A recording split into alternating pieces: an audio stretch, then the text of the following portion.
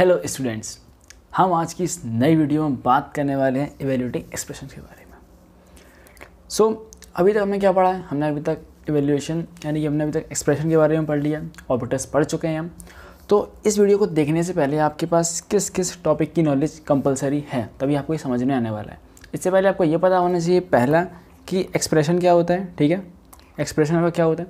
दूसरा जो टॉपिक है वो आपका रहेगा कि आपके ऑपरेटर्स के बारे में थोड़ी नॉलेज होनी चाहिए। अगर आप सभी को, आप चाहें तो वीडियो और किसी की भी देख सकते हैं, ना अगर आपको किसी का वीडियो नहीं देखना है तो आप चाहिए तो मेरा वीडियो भी देख सकते हैं। इसकी, आपको जो वीडियो है डिस्क्रिप्शन बॉक्स में लिंक मिल जाएगा। चलिए वीडियो शुरुआत करते हैं। सबसे पहले हम बात करेंगे, अपना फ़र्स्ट टॉपिक है वो इवेल्यूटिंग अर्थमेटिक एक्सप्रेशंस को। सबसे पहले हम इवेल्यूएट करेंगे अर्थमेटिक एक्सप्रेशन को। ठीक है? अब देखो अर्थमेटिक एक्सप्रेशन जो है वो आपको किस तरीके से इवेल्यूएट किए जाते हैं, उसमें आपको यूज़ में आएगा ऑपरेटर का प्रेसिडेंस वो किस तरीके से?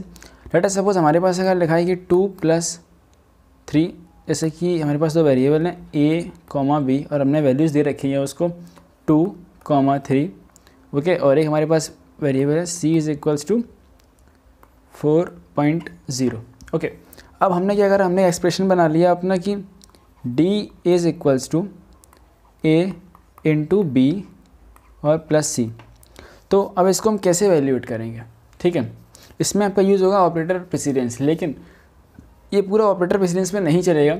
इसमें एक चीज़, आपका एक रूल और लगने वाला है। उस रूल की अगर हम बात करें तो उसको हम बोलेंगे यहाँ पर इम्प्लिसिट टाइप कन्वर्जन देखो, ये क्या होता है कि जैसे कि तुमने भी यहाँ पर देखा कि ये जो हमारे दो वेरिएबल हैं ए और बी ठीक है?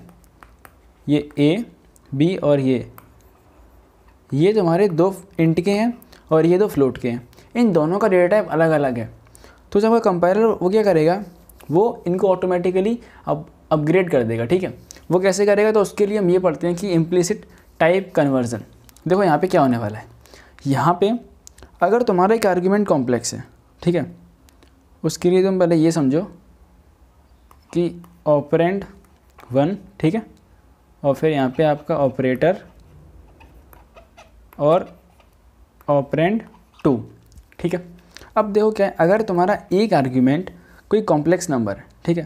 लेटा सपोज़ कि यहाँ पर आपका जो ऑपरेंड वन है, ये कॉम्प्लेक्स नंबर है तो क्या करेगा?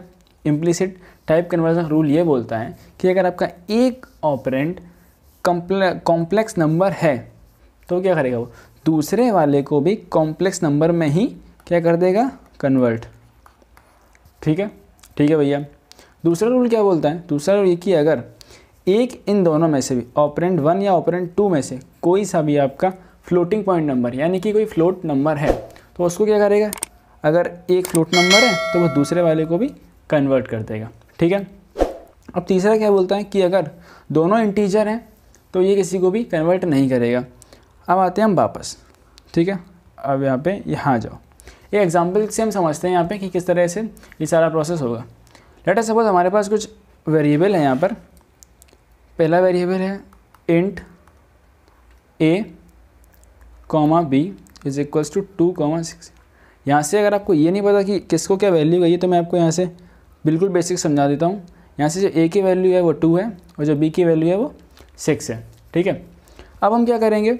हमने एक और वेरिएबल ले लेते हैं, ठीक है? Float C equals to eight okay वैसे तो यहाँ एट पॉइंट वैसे एट दे दे, कोई दिक्कत नहीं, वो एट पॉइंट ज़ीरो ही लेगा वहाँ पर। ठीक है?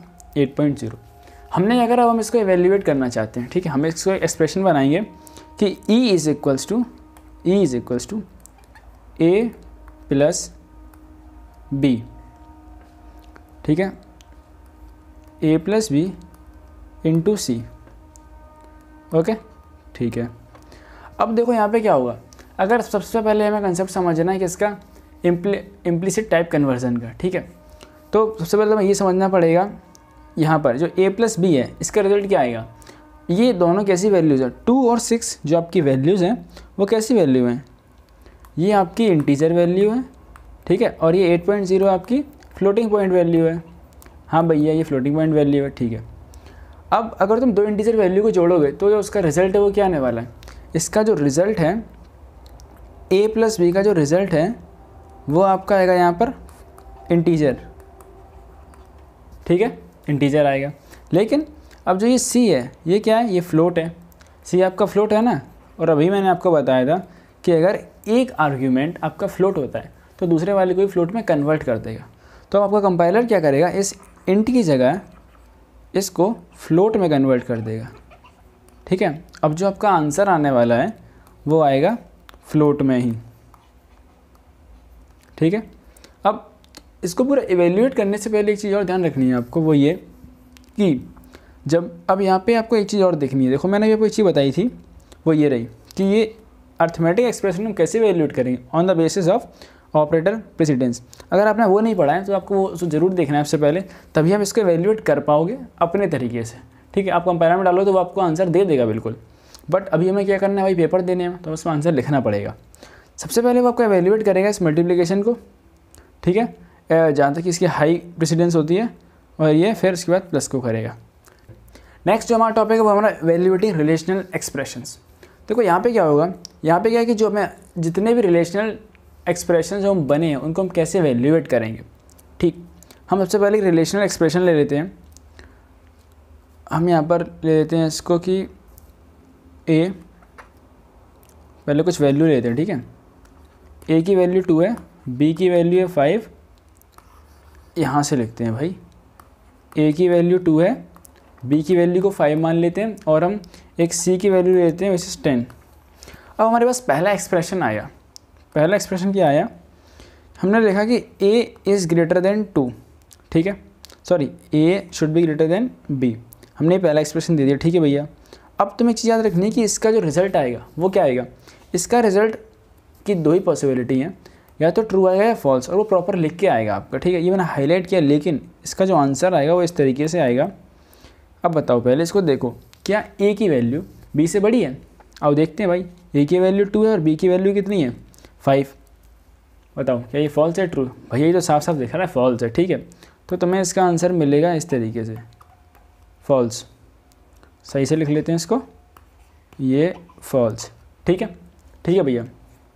अब हम लेते हैं सेकंड क्वेश्चन अपना। ठीक है सेकंड क्वेश्चन ले लिया हमने कि बी इज़ ग्रेटर देन इस तरीके से। क्या बी सी से बड़ा है? अब इसका आंसर क्या आएगा? भैया बी की वैल्यू फाइव है और सी की वैल्यू टेन है। ठीक है, क्या ये बड़ा है? भैया, नहीं बड़ा ये तो। तो ये भी फॉल्स हो गया। ठीक है ठीक है। अब इसमें तुम्हें एक चीज़ ये समझनी है। एक और कंसेप्ट समझ लो यहाँ से।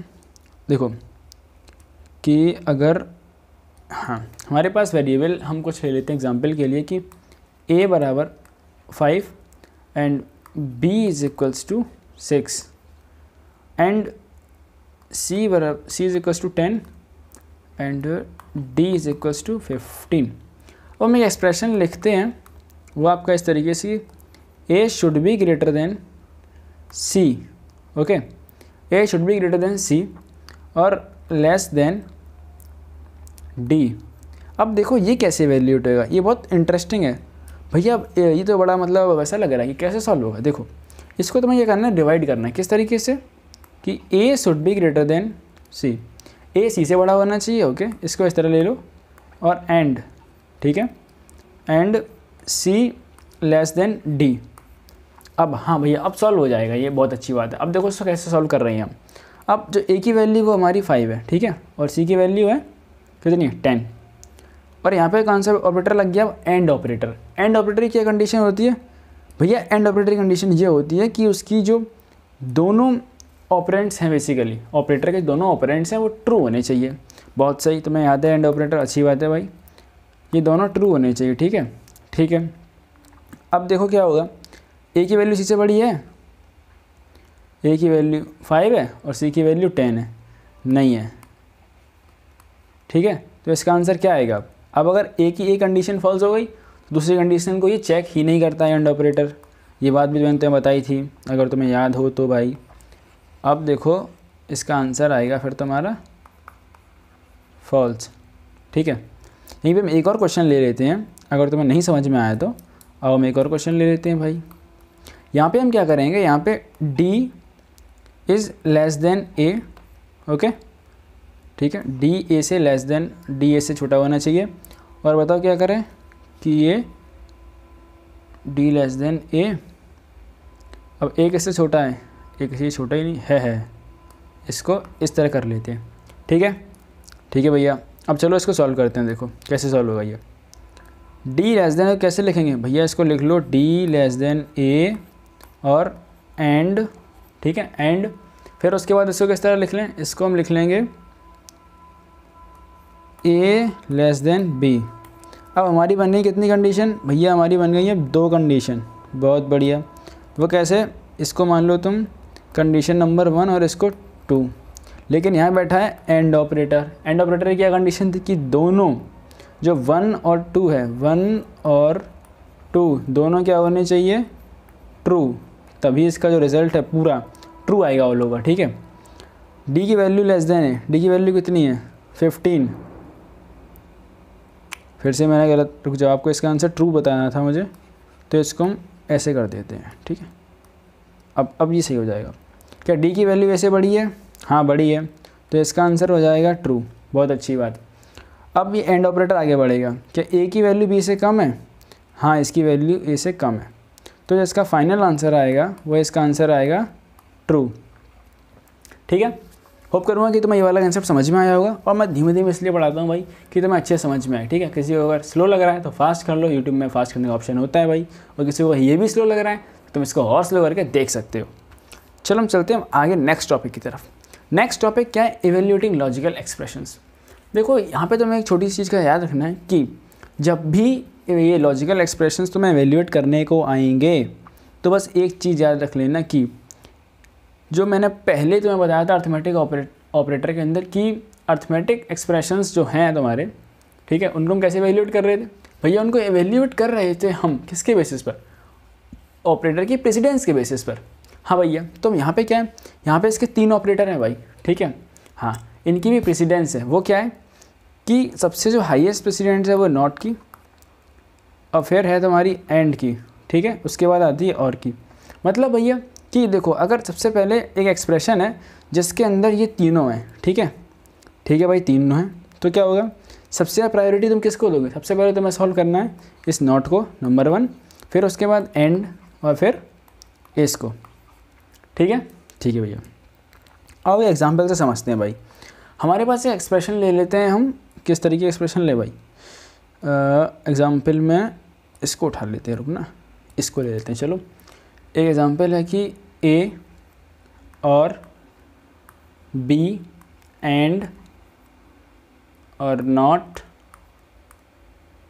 सी तो इधर लिख लेते हैं इसको वेट ए और बी ए और बी एंड नॉट सी अब देखो ये कैसे इसको सेपरेट करेंगे, हम इसको कैसे वैल्यूएट करेंगे। सबसे पहला पॉइंट ये है कि अभी मैंने तुम्हें बताया कि प्रायोरिटी वाइज ठीक है? तो सबसे पहली प्रायोरिटी किसकी है? भैया सबसे पहली प्रायोरिटी आपने बताई नॉट की होगी, बहुत अच्छी बात। तो इसको एक सेपरेट ब्रैकेट बना लो, ठीक है? ठीक अभी क्या बन गया? नॉट सी अलग हो गया। अब तो मैं दूसरा ब्रैकेट किसके लिए बनाना दूसरा ब्रैकेट हमें बनाना है राइट से ले लेते हैं। अब ये हो गया बी एंड नॉट सी ठीक है? बी एंड नॉट सी अब तीसरा ब्रैकेट क्या हुआ? तीसरा ब्रैकेट बना लो इसका भाई। देखो कैसे वैल्यू उठेगा, ये। यहाँ से अब जो नॉट सी का जो आंसर आएगा ना, ठीक है? अब फिर उसमें क्या होगा? अब ये हो जाएगा, अगर नॉट सी का लेटर सपोज़ कुछ आंसर आता है, मान लो, इसका आंसर कुछ भी आया लेटर सपोज़ हम इसका एक्स आंसर मान लेते हैं, ठीक है? यहाँ से एक्स आंसर मिला। तो क्या हुआ? ए और बी एंड एक्स अब इस, यहाँ पे कैसे हो गया ये? इस तरीका हो गया, ठीक है? अब जो इसका रिज़ल्ट आएगा, ठीक है? जो इसका आपका रिज़ल्ट आएगा, और फिर जो ए है, यहाँ जो ए है, ये वाला, ठीक है? अब इसमें और इसमें नेक्स्ट स्टेप आपका हो जाएगा इस तरीके से ए और यहाँ का जो रिज़ल्ट आया, जो कुछ भी आपका रिज़ल्ट आया हुआ है, ठीक है? तो फाइनल एक्सप्रेशन आपका इस तरह ही इवेल्यूएट किया जाएगा ओके अब चलते हैं आगे। अब आगे समझते हैं टाइप कास्टिंग ये क्या होती है भैया? देखो, कई बार क्या है कि हम प्रोग्रामिंग कर रहे हैं, और हमें लगता है कि हमें लेट सपोज़ कि हमने इम्प्लीसिट में क्या किया था? इम्प्लीसिट में जो भी टाइप कन्वर्जन होता है डेटा टाइप का, वो ऑटोमेटिक होता है, ठीक है? कई बार हम, हमें लगता है कि मान लो हमने कुछ ऐसा प्रोग्राम बना दिया है, जहाँ पे यूज़र अगर कोई भी वैल्यू एंटर कर रहा है तो हम उसको चेंज करना चाहते हैं, ठीक है? हमने क्या करा कि एक रेडियस का प्रोग्राम बनाया था, और हो सकता है हमने उस टाइम पे उसको इंटीजर का बना दिया था, ये जो वेरिएबल है हमारा रेडियस इसको हमने इंटीजर का बना दिया है। अब बाद में हम कम कहीं उसको यूज़ कर रहे हैं, हम उसको फ्लोटिंग पॉइंट बनाना चाहते हैं, ठीक है? तो हम क्या करेंगे? बैरियर तो हम पहले बना चुके हैं तो हम इसको चेंज कर सकते हैं। किस तरीके से? हमें चेंज करने के लिए ऐसे यूज़ करना है, ठीक है? देखो, हमें जिस भी डेटा टाइप में चेंज करना है, सबसे पहला पॉइंट ये। अगर आपको जिस भी डेटा टाइप में चेंज करना है इसको, पहले आप लिखो डेटा टाइप का नेम ठीक है? उसके बाद आपको जिसको भी चेंज करना है, ठीक है? जिसको भी चेंज करना है, ये रहा। इसके अंदर लिख दो। ठीक। भैया कैसे करेंगे? देखो मैं एक एग्ज़ाम्पल से मैं ये भी समझा देता हूँ मैं। ठीक है, इसका मैं एग्ज़ाम्पल ले लेते हैं, यहीं पे ले लेते हैं लेटर सपोज़ ये देखना, अभी इस तरीके से। हाँ हमारे पास एक वेरिएबल है A is equals to ten okay और B is equals to twenty point five twenty point five और देखो ए और बी जो है ए तुम्हारा कौन सा है भैया? ए हमारा है इंटीजर ए है तुम्हारा इंट का और बी किसका है? भैया बी हमें फ्लोट का है, ठीक है? बहुत अच्छी बात है। अब देखो, एक हमारे पास नेक्स्ट एक और वेरिएबल है सी का सी ले लेते हैं। सी को फ्लोट में तो रुक जाओ। सी ले लेते हैं, ठीक है? और अब हम ये चाहते हैं कि जो हमारा रिज़ल्ट है, उसमें कुछ कम ना रह जाए। लेट सपोज़ अगर हम सी का ही अगर हम इंट ले लेंगे यहाँ पे, अगर ये जो इंट का सी का वेरिएबल है, अगर ये इंट डेटा टाइप का होगा, ठीक है कन्फ्यूज़ मत होना, ध्यान से सुनो। जो सी का वेरिएबल है, अगर वो आपका इंट डेटा टाइप का है तो वो क्या करेगा? यहाँ पे अगर हम ऐड करेंगे ए प्लस बी को तो जो यहाँ पे आंसर आएगा, वो सिर्फ़ थर्टी आएगा। ठीक है, क्योंकि ये पॉइंट फाइव वो लेगा ही नहीं। पॉइंट फाइव जो है यहाँ पे, उसको ये लेगा ही नहीं, ठीक है? ये जो पॉइंट फाइव देख रहे हो आप सॉरी, ये ट्वेंटी पॉइंट फाइव में से जो पॉइंट फाइव है, उसको ये लेगा ही नहीं। तो हमें इससे बचने के लिए हमें क्या करना है? हम चाहते हैं कि जो इसका रिज़ल्ट है ए प्लस बी का, उसको हम फ्लोट में कन्वर्ट कर दें।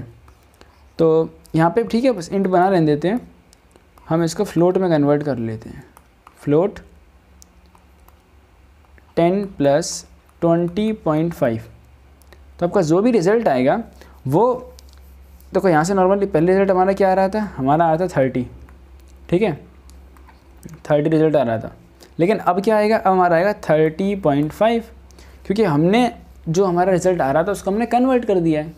ठीक है, आपका यही प्रोसेस होता है सिंपली टाइप कास्टिंग का। अब इसमें कुछ इश्यूज़ हैं। इसमें आपके इश्यूज़ क्या क्या हैं? इश्यूज़ ये आते हैं कि ये डेटा लॉस कर देता है कई बार। देखो, हमने इम्प्लीसिट क्या होता है कई बार कि अगर आप डेटा सपोज़ देखो कि अगर आप इंट से फ्लोट में जाओगे, ठीक है अगर आपका इंट का टू है तो ये फ्लोट में कितना हो जाएगा? भैया टू पॉइंट ज़ीरो बहुत अच्छी बात है। अगर देखो, कई बार क्या होगा कई बार हम वापस चले जाएँगे। लेटर सपोज़ कि हमारी वैल्यू है यहाँ पे, इसको इस तरह समझो। अगर हमारे पास एक वैल्यू है भाई, क्या वैल्यू लूँ? भैया कुछ भी ले लो। तो भाई, सुनो फिर।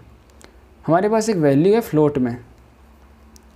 वैल्यू है तुम्हारी two point eight four five ठीक है, बहुत अच्छी वैल्यू थी। हमने क्या करा, उसको टाइप कास्टिंग कर दी। ज़बरदस्ती टाइप कास्टिंग कोई मतलब नहीं। हमने कर दिया भाई, शौक था हमें करने का। नहीं ना सीखे थे हम। हमने कर दी टाइप कास्टिंग हटो। हमने उसको इंट में ले आई। हमने कहा, अरे भाई इंट में ले आई, बहुत अच्छा। देखो इंट में क्या घाटा होता है। पूरा लेक्चर पढ़े नहीं थे वो? आधे में चले गए थे भाई। तो देखो, उनके साथ क्या होगा फिर? उनके साथ जो इसका आंसर रह जाएगा ना, कितना रह जाएगा?